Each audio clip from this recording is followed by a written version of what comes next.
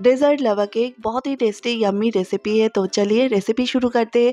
सबसे पहले चॉकलेट में मैंने क्या लिया है? देख लेते हैं। मैंने डार्क कंपाउंड लिया है। आप कोई भी चॉकलेट इसमें ऐड कर सकते हो। इसके साथ कनफ्लोर लिया है। आप कनफ्लोर के बदले आप एग भी ऐड कर सकते हो और इसके साथ इंस्टेंट कॉफ़ी लिया है।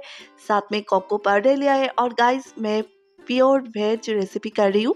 इसलिए मैं एग नहीं ऐड कर रही हूँ। और देखिए चॉकलेट के साथ मैंने पाउडर मिल्क इसमें ऐड किया है। ये टेस्टी बनाने के लिए आप कॉर्नस मिल्क भी ऐड कर सकते हो। और देखिए, मैंने पैन में दूध के साथ इंस्टेंट कॉफ़ी ऐड किया है। इसे मैं घोलूँगी और इसके साथ मैंने कॉर्नफ्लोर लिया है टू टेबल स्पून तो मेरा जो केक है, इसके साइज़ से मैं कॉर्नफ्लोर ले रही हूँ।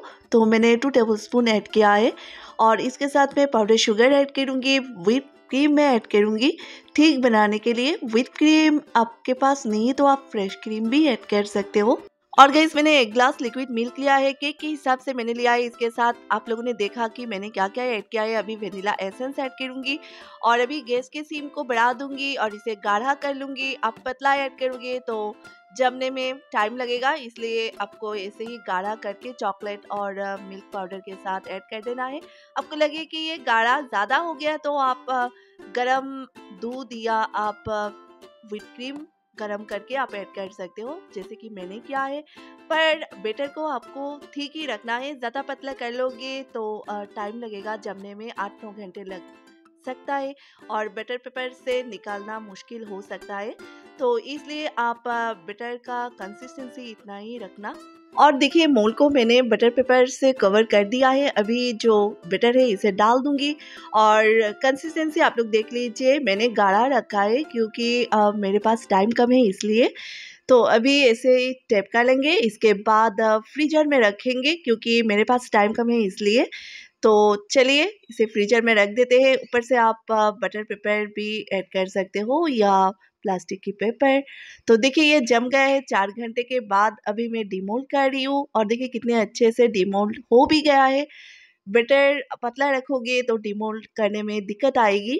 आप इसे ऐसे ही सर्व कर सकते हो कोको पाउडर स्प्रिंकल करके या आप चॉकलेट गनाश इसके साथ ऐड कर सकते हो। तो देखिए, मैं चॉकलेट गनाश अभी ऐड करूँगी। इसके लिए मैं चॉकलेट गनाश बना रही हूँ।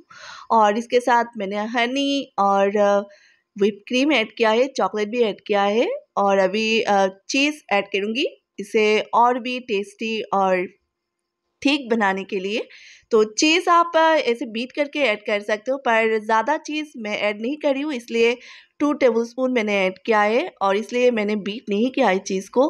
वैसे तो चीज़ को बीट करके फिर ऐड करना पड़ता है। तो देखिए, अभी मैं छान रही हूँ क्योंकि मैंने डायरेक्ट चॉकलेट में चीज़ दिया है ना ऐसे में डाल दूँगी तो गुटलिया रह जाएगा और ग्लोसी नहीं बनेगा, दिखने में अच्छा नहीं लगेगा, इसलिए मैं छान रही हूँ। आप बीट करके चीज़ ऐड कर सकते हो, मेरे पास थोड़ा सा चीज़ था, इसलिए मैंने ऐड कर दिया। देखिए, मैंने चॉकलेट गनाश ऐड की थी, इसके बाद स्प्रिंकल कर रही हूँ कोको पाउडर से और अभी सर्व कर दूँगी। गाइस, ये रेसिपी आप एक बार ट्राई करोगे तो बार बार ट्राई करना चाहोगी, इतना टेस्टी हमें होती है।